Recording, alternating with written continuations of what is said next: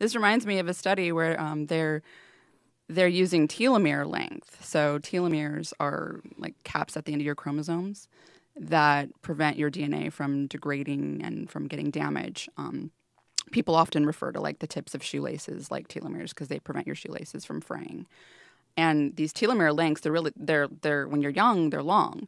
Um, but each time each time your cell divides, they get shorter and shorter. Like with each year, they're getting shorter. I think you lose like 22 nucleotides a year off your telomeres, and it's a biological marker for aging. So the shorter your telomeres are, uh, you know, the shorter your life is. Basically, if you look at telomeres from a young person versus an old person, you can see like, dramatic differences. And stress, stress has been correlated with taking like five years off your telomere length. And uh, the opposite's been true. Meditation, they've shown that meditation, um, there's actually an enzyme that can rebuild your telomeres, but we, do, we don't express it in high levels. It's called telomerase. Um, but meditation can actually boost the expression of telomerase uh, and, and cause your telomeres to get longer. So there's really something to that, you know, having a more relaxed, being able to meditate, not having a lot of stress, uh, you know, affecting the way you age, literally, and we have a biological marker for it. Um, yeah, it's really interesting. It's another thing. Vitamin D. I wanted to.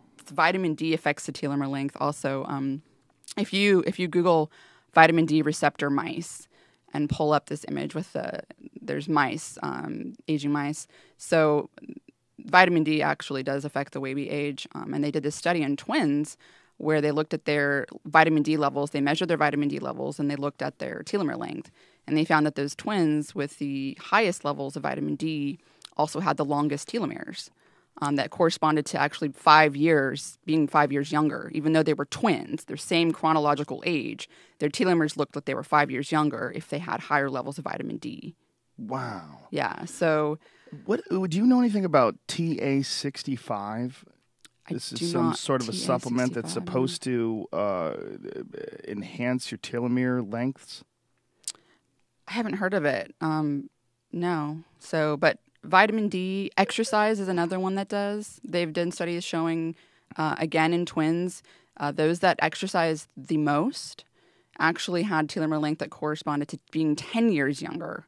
Um, and those that exercised sort of like average compared to those that didn't had an average of like, I think, four years. So, you know, there's there's there's things that affect the way you age and we have, you know, markers for that, biological markers like telomere length uh, that that proves your lifestyle is indeed, you know, affecting the way you age. Yeah, I'd read this telomere study, um, and uh, I had seen this uh, the, the okay. ads for this supplement. Whoa! Okay, so look, check check this out. So those two mice on the okay, these are the same age mouse. Uh, the the top panel, um, these mice are about four and a half months old, and the one on the left is a vitamin D receptor knockout knockout mouse, which means it can't respond to vitamin D. So it's like it's like not having any vitamin D.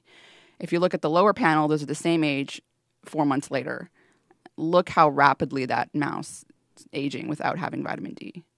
I mean, there's lots of things going wrong. I mean, I told you that vitamin D is regulating over a thousand different genes in your body. So, inflammation. I mean, cognitive function. I mean, there's there's a lot of things. But look at that.